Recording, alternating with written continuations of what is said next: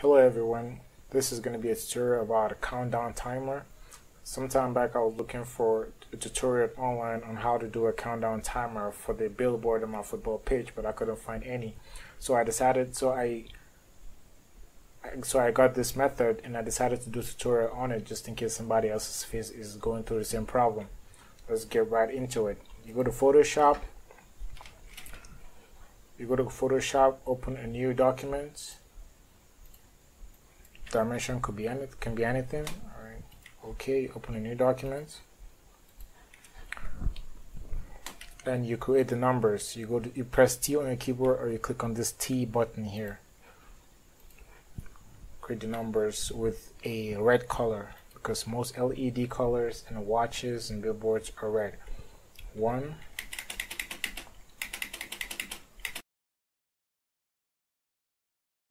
Zero scale it. Make sure you leave spaces at the edge of at the edge of all the numbers.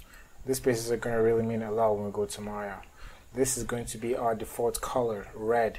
So you control S you save. Numbers default. Save it as a JPEG file. It's a picture file it's a JPEG file.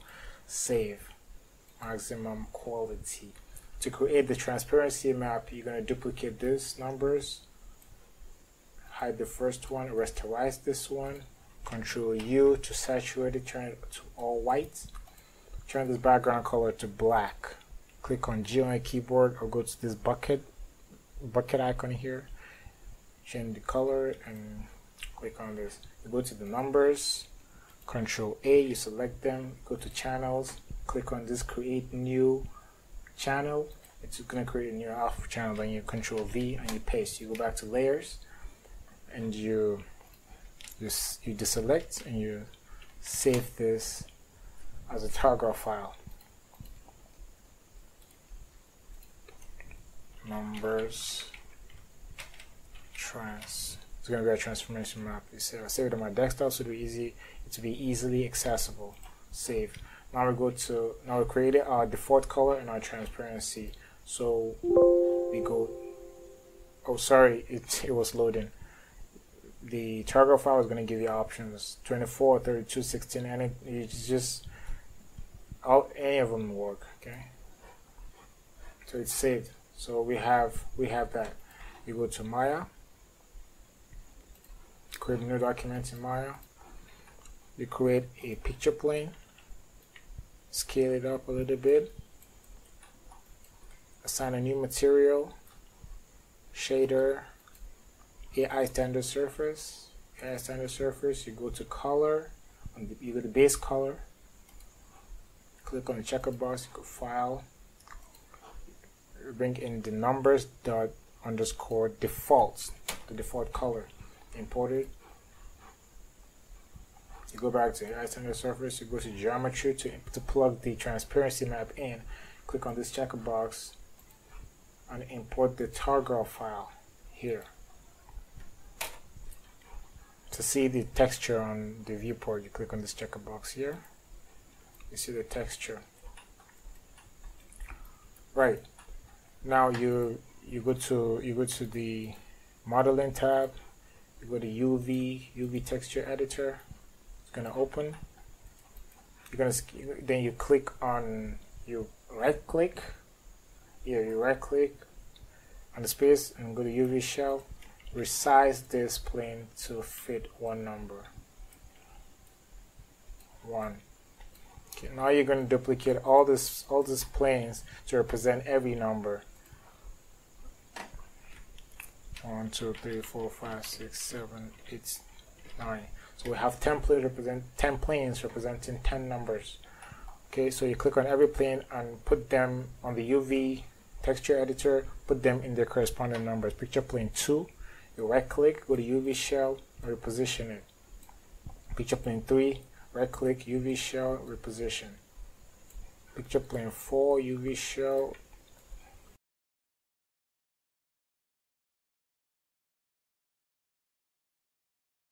and picture plane 0 UV shell good. Now you have every now every plane represent all the plane representing every number. You you create a NURB circle. You go to create NURBS primitive NURB circle. Bring it up here scale it up a little bit. This is going to be our controller. It's going to control the visibility of the numbers. All right you go to the attribute editor I would like to hide all the attributes on the um, on the controller because I'm not going to use any of them. I'm going to create my own visibility. I'm going to create my own attribute, sorry, to control the visibility of every plane. So I right click, hide selected, go to edit, add attributes, create all the attributes that will control all the planes. That's one through one zero. All of them will have their own attributes. So we'll start from one, minimum zero, maximum one. Add two, minimum zero, maximum one. Three, minimum zero, maximum one.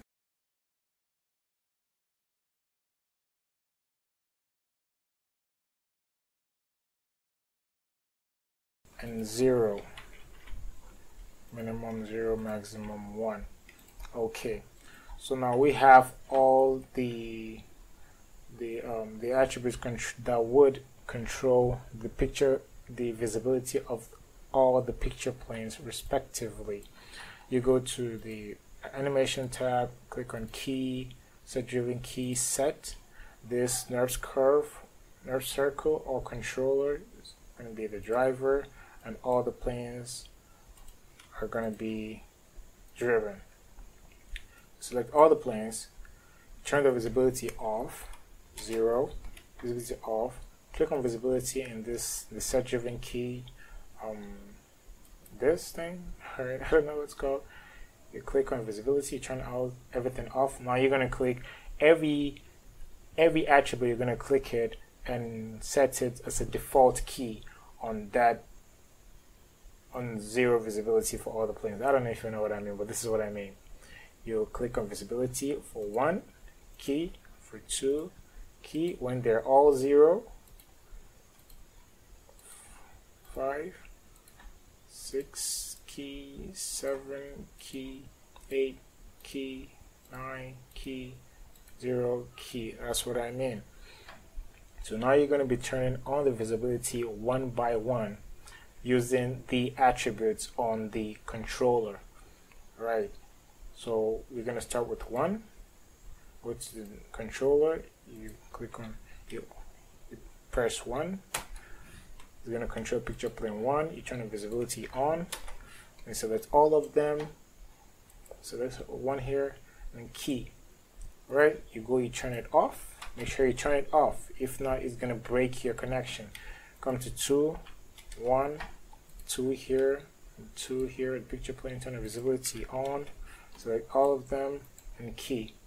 Turn it back to zero, go to three, one, three, picture plane three, turn the visibility on, select all of them, and key.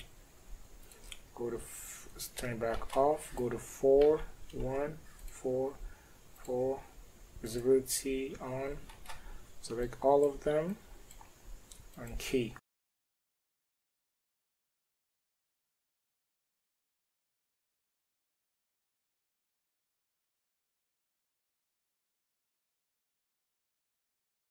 and zero one picture plane visibility on select all of them click on zero and key so now we have our our controller is going to control all the visibility of our um, we're going to control the visibility of our numbers of our numbers okay? So let me let me let me um, make an animation for it so that you see the control clearly. All right let's turn this off. Let's go to one. Let me take every 25 frames to be every second okay? So let's turn one on Press S to set a keyframe, coming 25, turn 1 off, turn 2 on, set a keyframe, go to 50, turn it off, go to 3, turn it on, go to 75, turn this off. And full on. Go to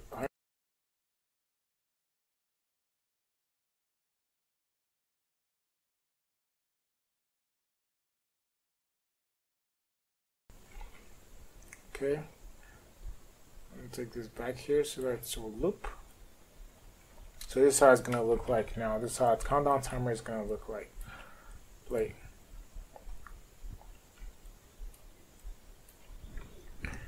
so this is this is to be the end of our tutorial this is to be the end of my tutorial okay? And if you have any problems that if I'm if there's any way I'm not clear enough you can you can comment the you can drop a comment in the section below and I will try my best to respond and explain to you the best way that I can. Even if it requires me to do another tutorial to explain better I'm gonna do it. So um, yes drop a comment and we'll learn together. Alright so thanks for watching. I'll see you in my next tutorial hopefully later